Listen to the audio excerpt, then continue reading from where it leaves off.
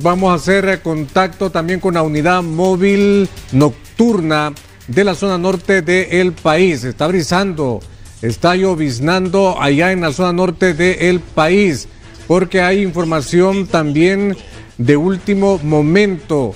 En este instante la unidad móvil nocturna pues avanza a esos barrios eh, difíciles. La otra cara de San Pedro Sula Vamos con Orlin Castro. ¿Qué mm, información eh, tiene? Voy con usted, adelante.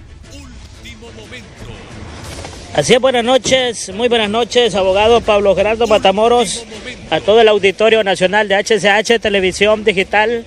Hace unos minutos se nos reporta acá la muerte de una persona exactamente en la colonia Los Ángeles del sector, entre el sector del Milagro y el sector de Dos Caminos. Supuestamente se trata del hijo de un pastor que ha sido acribillado acá donde estamos ingresando en estos momentos. Nos miramos, no miramos acá lo que es la presencia de los elementos de la Policía Nacional Preventiva, pero se tiene información preliminar que el nombre de esta persona sería David Baide. Miramos acá cuando estamos llegando a la escena del crimen, donde hasta esta instancia eh, no han llegado acá los elementos de la Policía Nacional Preventiva.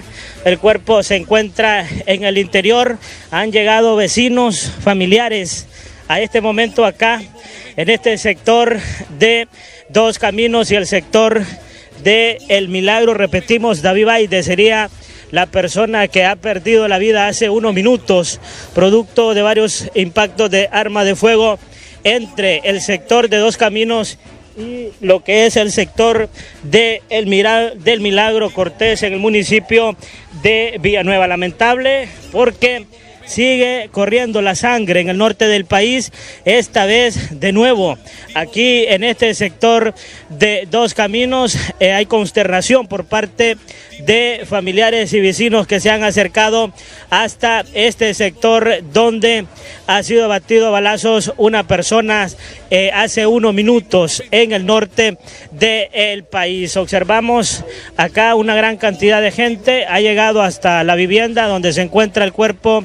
eh, sin vida del el hijo supuestamente de este predicador de nombre eh, David Baide, que ha sido abatido a balazos hace unos minutos. Podemos ver eh, la crónica en estos momentos de la escena del crimen, estos eh, desgarradores, desgarradoras imágenes que podemos observar, sin duda alguna, que no nos gusta transmitir este tipo de hechos, pero es la realidad que se está viviendo en nuestro país. Podemos observar eh, en estos momentos, abogado Pablo Gerardo Matamoros, licenciada Cecia Mejía, todo el Auditorio Nacional de HCH Televisión Digital, lo lamentable que se está eh, viviendo en el país, este sector de dos caminos últimamente eh, se han dado varios homicidios, ojalá las autoridades correspondientes hagan algo para que descubran las personas que cometen este tipo